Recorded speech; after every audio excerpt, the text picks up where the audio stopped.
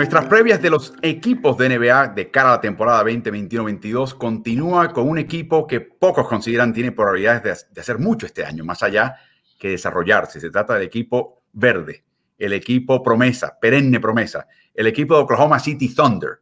Eh, Carlos, el año pasado terminaron decimocuartos en el oeste, pero lo curioso es que mostraron gran calidad, tanto así que decidieron despachar a George y la Filadelfia le dijeron a Al Horford que se quede tranquilo ahí y no juegue más con el equipo. Y después pusieron en la lista de lesionados a Shea Gilgus Alexander por el resto de la temporada con un problema en el pie. Y aún así el equipo seguía compitiendo. Este equipo fue amenaza de meterse en la parte baja del play-in hasta el final de la temporada, hasta que finalmente erizaron la bandera blanca, porque quieren desarrollar talento. Sin embargo, Carlos, como vemos en pantalla, han traído solamente un verdadero veterano a este equipo, que es Derek Favors. ¿Cómo ves a este equipo? Bueno, Álvaro, yo creo que este es un equipo que, eh, como hay varios en, la conferencia del oeste específicamente, que están tratando de alguna manera de rearmarse, pero rearmarse con, juventud. Eh, la pregunta en muchas ocasiones cuando tú te rearmas con juventud es si la juventud está ya capacitada para ganar partidos consistentemente. Y obviamente Oklahoma City tiene mucho talento joven que el año pasado demostró que no van a ganar consistentemente. Ahora a ver cuánto han crecido en un año pero esto es una apuesta a futuro, sin, lugar a dudas, donde el jugador referente, el jugador que le pagan los 170 y pico de millones, es un jugador de 23, 24 años de edad, eh, Gilgius Alexander. Entonces, eh, es un equipo que eh, yo creo que la apuesta no es a este año. Y yo creo que hay varios equipos en el oeste que están en la misma situación. Por lo tanto, no nos extrañaría que uno de esos equipos se cuele en un play-in.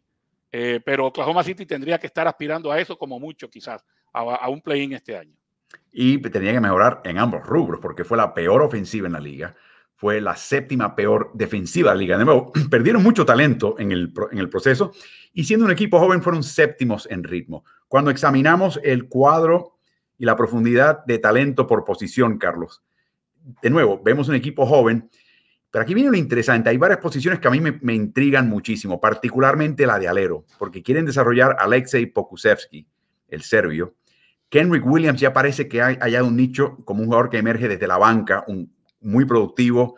Le llaman el alma de este equipo. Y eso le deja a Gabriel Deck una oportunidad en este encuentro como unos veteranos, entre comillas, dentro de este grupo. ¿Cómo lo ves?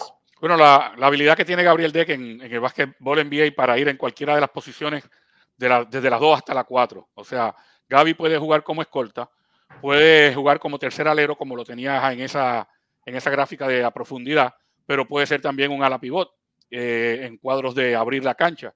Entonces eso le da posibilidades de jugar. Pero de nuevo, yo lo que quiero ver es cuál es el énfasis de este equipo en el presente y a futuro. Recuerda que este es el equipo que se ha cargado de elecciones, selecciones de primera y segunda ronda en los próximos dos o tres eh, sorteos, los primeros, en los próximos drafts. Y a veces cuando haces eso, es que estás tratando de ir por más. Y cuando estás tratando de ir por más, no piensas en ganar en el momento. Recuerda el proceso de los Philadelphia 76ers. Bueno, Oklahoma City muy bien pudiera pensar que tener jugadores que produzcan y que los hagan ganar vaya en contra de lo que ellos quieren a mediano y a largo plazo. Por eso es que sería bueno verlo jugar y ver cuál es el interés que tiene no solo la gerencia, sino la dirección técnica de cara a esta próxima temporada. Sin duda, Sam Presti, que seleccionó en el draft a personas como Russell Westbrook, a Kevin Durant, y también a James Harden. Ahora Carlos está, parece que está apostando cada vez más y más al jugador internacional. Lo hemos hablado. Son menos dados quizás a irse de Oklahoma City si el equipo los cobija y les, genera un, hogar en el cual ellos se, hayan sentir, se sientan seguros. Pero ninguno de estos jugadores, con excepción de quien menciona, Shea Gilgus Alexander, eh, está, es una vaca sagrada. Todos ellos pueden ser traspasados. Y el proceso que mencionas es generar suficiente calidad en este equipo. Quizás sorprender con la cantidad de triunfos que consigues, el porcentaje ganador con este núcleo, para que alguno que otro agente libre que verdaderamente entienda un poquito de qué se trata la cosa, diga, ¿sabes qué? Me voy para allá, o un jugador descontento, traspásame a Oklahoma City, que ellos tienen un buen equipo. Lo vivieron hasta cierto punto con Chris Paul, aunque Chris Paul nunca se quiso quedar. Pero con Chris Paul y esta juventud, Carlos, y un par de jugadores veteranos, bastante lograron el año pasado. Mi pregunta es, ¿quién es el segundo anotador de este equipo? Shea Gilgus Alexander va a cargarse de puntos créanlo o no, a esa edad que mencionas, Carlos, uno de los mejores jugadores clutch en los momentos definitorios de partidos que hay en toda la NBA, imitando a Chris Paul. pero tienen nueve jugadores que promedian 10 minutos cuando están jugando en cancha. O sea, no hay un primos interpares. ¿Cómo ves este equipo anotar?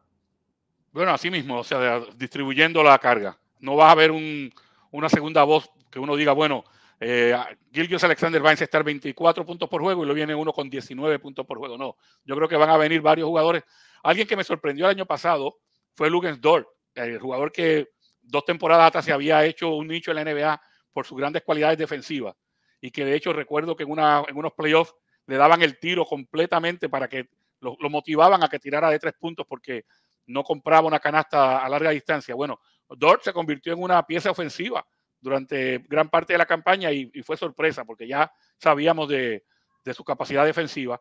Puede convertirse en un jugador completo en la liga, eh, pero como dije anteriormente, para que hayan cuatro o cinco quizás que estén entre los 10 y los 14 puntos por juego. No veo a ninguno que sea ese eh, escudero de Gilgios Alexander. Así que en realidad lo puedes ver de otra manera.